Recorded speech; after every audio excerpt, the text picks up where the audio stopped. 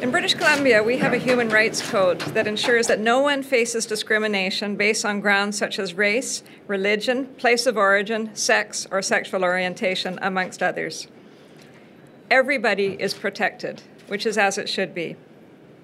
However, it is important that people understand that they are protected.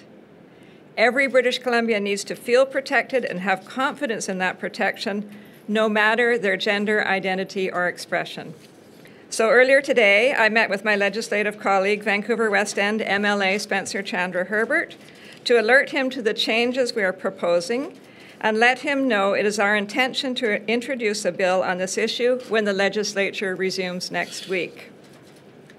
The proposed changes will specifically include gender identity or expression among the protected grounds of discrimination in British Columbia's Human Rights Code. So, for example, a landlord may not refuse a tenancy to a transgender person.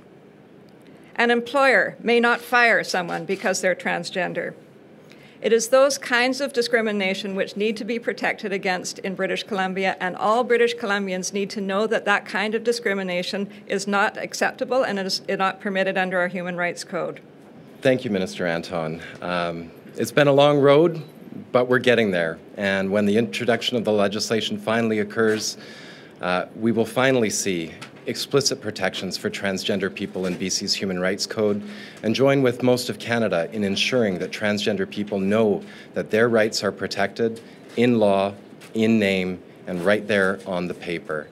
It's my job as Attorney General, and it is government's job to ensure that all British Columbians are not only protected from discrimination, but they know they are protected and they feel they are protected and our changes to the Human Rights Code will do that. Thank you very much.